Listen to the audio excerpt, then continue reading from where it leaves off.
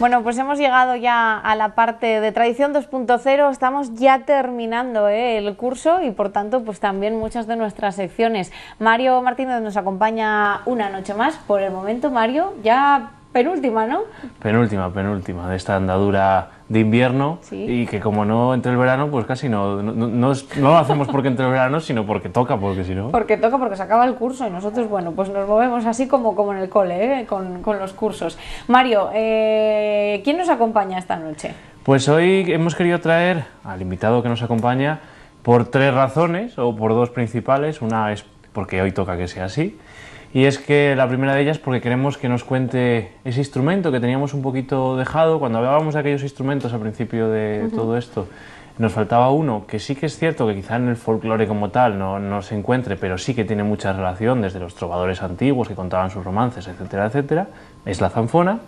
Y aparte queremos conocer a esta persona porque es eh, constructor de instrumentos y no solo constructor casi, sino inventor, podemos decirlo así, porque ha sido capaz de innovar en instrumentos que ya conocíamos y aplicarle las, eh, como llamamos 2.0 a esto, pues todas esas técnicas modernas. Y aparte, pues desde aquí felicitarlo porque hoy nos acompaña, que además es su cumpleaños, así que... Es verdad, es verdad. Felicidades a Leo Vigildo Santa María que nos acompaña esta noche. Buenas noches, Leo Vigildo. Hola. Felicidades. Eh, muchas gracias a todos. Que hoy tenemos cumpleaños aquí en Plató, eso no pasa todos los días, ¿eh? Claro, eh, no se me ocurrió haber traído una botella de raposeira para celebrarlo. Vaya por Dios. Bueno, eh, Leo Vigildo, cuéntanos, vamos a hablar de la zanfona, hemos dicho, en primer lugar. ¿Qué ¿Cuál es este instrumento? Vamos a verlo en, algunas fotografías que nos habéis enviado y, y cuál es la peculiaridad que tiene este instrumento. Bueno, pues es un instrumento, la verdad es que bastante singular es quizá un poco complicado, complejo, por lo tanto, como él apuntaba, que no, no ha sido precisamente un instrumento muy visto en la música tradicional, ya no tanto por su ejecución, porque los ciegos sí lo utilizaban, eh, y entonces, bueno, pues los ciegos tampoco hubieran hecho ninguna carrera superior musical ni nada, ¿no? Entonces, lo que ocurre es que, bueno, pues más que la complejidad en su ejecución, yo creo que está en su fabricación o construcción. Entonces, es un instrumento caro, es un instrumento mm, poco frecuente.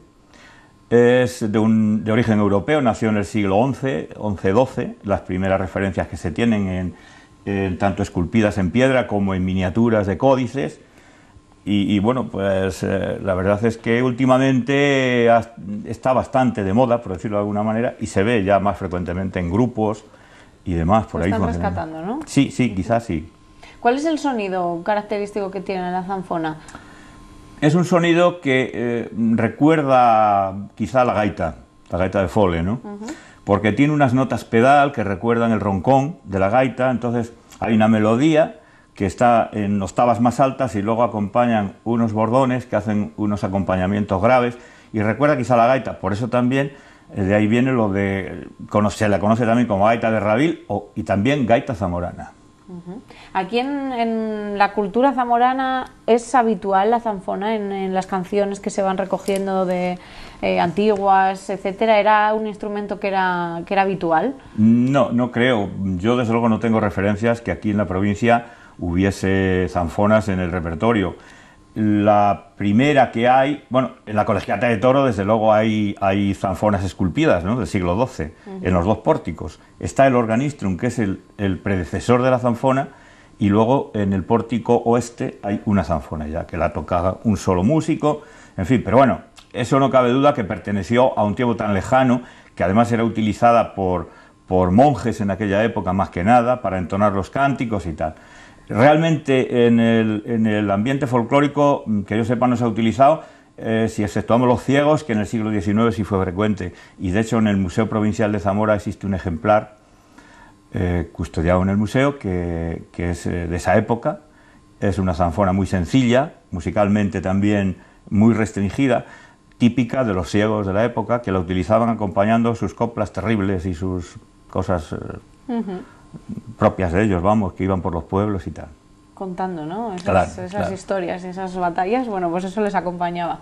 Bueno, pues eh, ahora se está recuperando, cada vez eh, lo, la vemos más. No sé si es un instrumento, decías que no hacía falta tener una carrera musical, pero es un instrumento que se puede acoplar bien o hay que tener un cierto manejo, bueno, pues para que luego después en las melodías esté bien asentado lo que es toda Sí, no, realmente no es nada complicado. Aquí hay gente en Zamora que la utiliza. Veas el caso de Jambrina, el caso de Santaren Folk, ahora entrarán con zanfona en su nuevo repertorio el grupo Don Sancho, en fin, cada vez se ve más, ¿no? gente particular, aquí en Zamora. Hay varias, ¿no? Hay varias zanfonas que están en manos de gente particular, yo he construido algunas, entonces, bueno, pues se ve cada vez más, no es nada complicado, lo que ocurre que, bueno, pues como decía antes, quizá la construcción sí es la parte que impide más o es el, impedimento mayor para que, para que sea del gran público, como es la flauta o la gaita o la dulzaina. Porque lleva mucho tiempo, ¿no? Efectivamente, lleva muchas horas, entonces eso encarece mucho el instrumento y claro, no todo el mundo puede comprárselo, ¿no? Aunque sí hay mucha gente seguidora de la fanfona que les gusta, pues es un sonido, es un sonido que te, que te envuelve y que te, te, pilla de alguna manera, ¿no? Pero, pero claro, no, es caro, realmente es caro. ¿Y cuáles son las partes que lleva? ¿Lleva cuerda? ¿Lleva cuáles son...? Sí, bueno, lleva una serie de cuerdas que se denominan cantoras, que son las que acciona el teclado y las que realmente hacen la melodía. Y luego hay otra serie de cuerdas que son simplemente acompañamiento fijo, o sea, bordones, musicalmente se habla de bordones, que son notas fijas que acompañan la melodía y que hacen ese, que ese sonido sea muy armonioso y envolvente. Lleva varios bordones dependiendo de sanfonas, pero las hay sencillas y las hay muy complicadas. Pueden tener cuatro cuerdas y pueden tener pues 40, ¿no? O sea, realmente hay una gama amplia de zanfonas y su número de cuerdas varía mucho, ¿no? Eso hace que el sonido también sea muy distinto, Cambie, claro. Cambie y me imagino que volvemos otra vez al precio, que, que cuanta más elaboración y más eh, minucia lleve, pues... Sí, claro, bueno, te puedes encontrar zanfonas desde 1.500, 2.000 euros hasta 6.000, 9.000, en fin, dependiendo. ¿no? Eh, bueno, es un ejemplo de, lo que sabe Leo Vigildo, ¿eh? que sabe y mucho. Hemos visto muchos instrumentos en esas fotografías. Eh, fabricas instrumentos, los arreglas también, Leo Vigildo, como luthier que eres. Sí, como no, claro, si algún instrumento se estropea, desde luego, pero vamos, fundamentalmente lo que hago es construirlos. ¿no? hago, hago zanfonas, hago gaitas, hago chirimías, hago flautas, hago clarinetes, hago de todo realmente cuando tengo tiempo, ¿no? Porque todo depende de... Yo hasta hace muy poco tiempo trabajaba, entonces bueno, pues disponía de menos tiempo, ahora quizá puedo dedicarle más. De cualquier manera, todo esto, como decía antes, lo que, lo que lleva fundamentalmente es tiempo. Teniendo mucho tiempo se pueden hacer muchas cosas.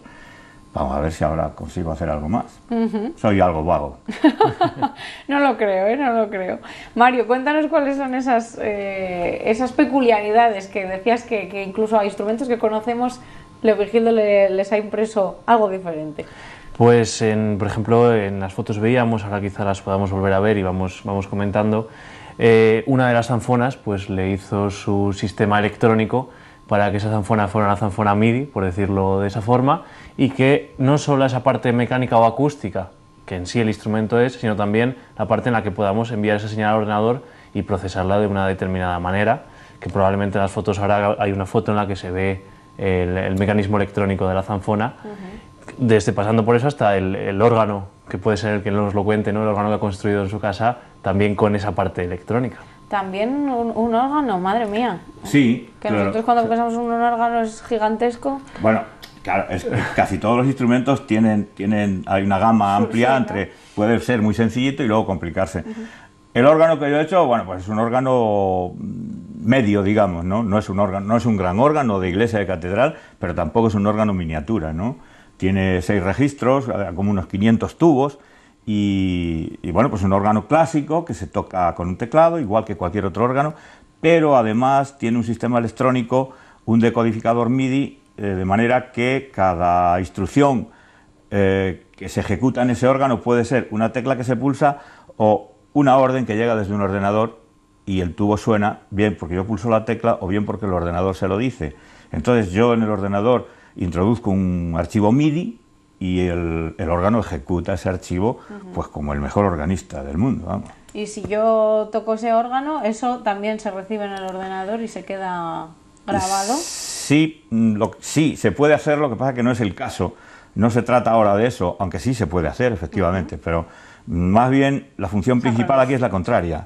O sea, el ordenador es el que, eh, con un código que envía al órgano, el órgano lo entiende perfectamente y, eh, bueno, pues interpreta cualquier melodía.